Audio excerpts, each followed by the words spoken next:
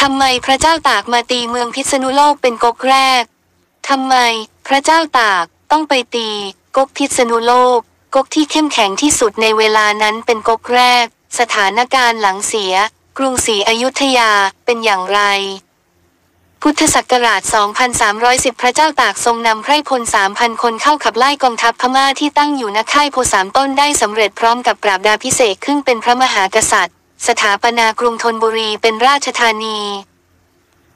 สภาพบ้านเมืองในขณะนั้นบอบช้ำจากสงคราม เหล่าบรรดาหัวเมืองทั้งเจ็ดที่เป็นอาณาเขตของพระองค์ล้วนได้รับความเสียหายจากพิษภัยการรุกรานของพม่า ไร้ซึ่งผู้คนที่เคยอยู่อาศัยเศษซากของสิ่งที่บ่งบอกความเป็นเมืองถูกลบล้างด้วยไฟที่แผดเผาเป็นเท่าฐาน เหลือเพียงแค่เมืองจันทบุรีที่ยังคงเป็นปกติ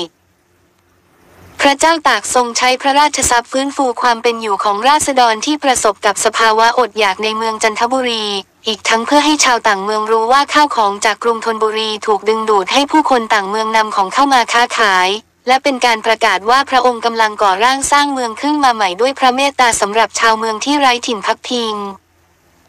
พร้อมทั้งจัดกำลังทหารไปประจำหัวเมืองทั้ง 11 เมืองที่ยังพอมีผู้คนหลงเหลืออยู่ อันประกอบไปด้วยหัวเมืองทางทิศเหนือมีกรุงเก่าเมืองลบบุรีเมืองอ่างทองหัวเมืองทางทิศตะวันออกมีเมืองฉะเชิงเซาเมืองชนบุรีเมืองระยองเมืองจันทบุรีเมืองตราดหัวเมืองตะวันตกมีเมืองนครชัยศรีเมืองสมุทรสงครามเมืองเพชรบุรี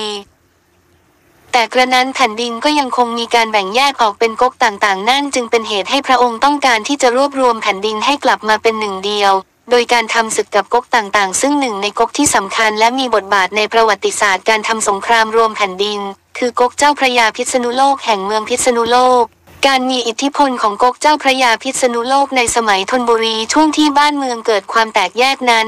อาจารย์ปฐมพงศ์สุขเล็กอาจารย์ประจำสาขาภาษาไทยคณะมนุษยศาสตร์และสังคมศาสตร์มหาวิทยาลัยราชภัฏพิบูลสงครามได้ค้นคว้าศึกษาประวัติศาสตร์เมืองพิษณุโลกในสมัยของพระเจ้าตากจากเอกสารขั้นต้นงานวิชาการต่างๆ ข้อมูลในการนำเสนอเป็นบทความชื่อ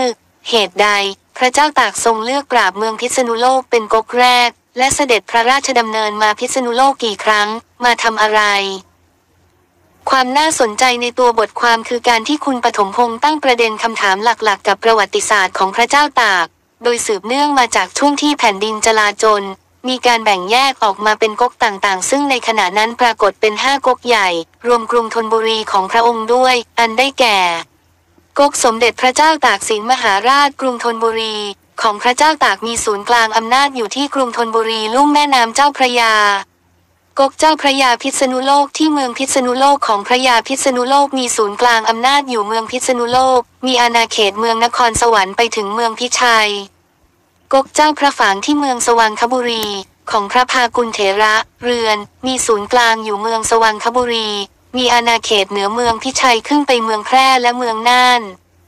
กกเจ้านครศรีธรรมราชที่เมืองนครศรีธรรมราช ของเจ้านครศรีธรรมราชมีศูนย์กลางอยู่เมืองนครศรีธรรมราช มีอาณาเขตเมืองชุมพรจนถึงเขตแดนมลายู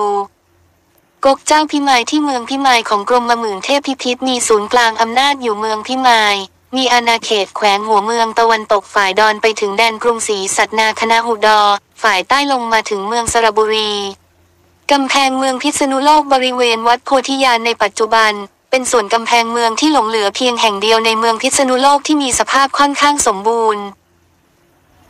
โดยเฉพาะกกของเจ้าพระยาพิษณุโลกที่เป็นขุนนางชั้นผู้ใหญ่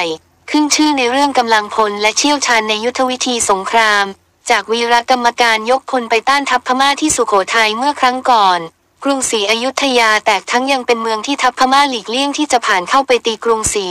ซึ่งก็เป็นสิ่งที่พระองค์ทรงทราบเป็นอย่างดี เมื่อครั้งที่พระองค์ยังทรงเป็นขุนนาง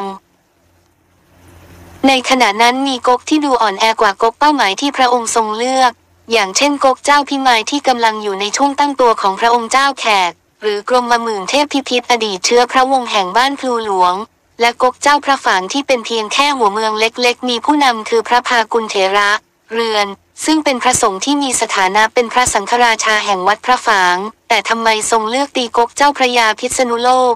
กกพระยาพิษณุโลกมีความแข็งแกร่งมาก เมื่อพระเจ้าตากยกไปตีครั้งแรกต้องพ่ายแพ้กลับมา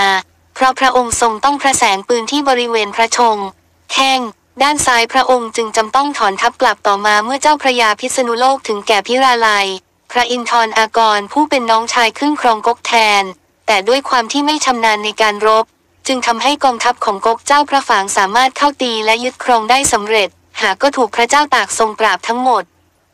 ภายหลังจากการปราบก๊กเจ้าพระยาพิษณุโลกและก๊กเจ้าพระฝาง พระองค์ทรงวางพระราชอำนาจโดยให้พระยายมราชและพระยาสุรศีเป็นผู้ปกครองเมืองพิษณุโลก พร้อมทั้งอุปสมบทเหล่าพระภิกษุของก๊กเจ้าพระฝางใหม่ ซึ่งนั่นก็เป็นสิ่งที่ส่งผลต่อเมืองพิษณุโลก ภายใต้พระราชอำนาจของพระเจ้าตาก อันนำไปสู่ในการเสด็จพระราชดำเนินเยือนในครั้งที่สามและครั้งที่สี่ต่อไป ซึ่งการเสด็จพระราชดำเนินมาในแต่ละครั้งล้วนมีความสำคัญต่อเมืองพิษณุโลก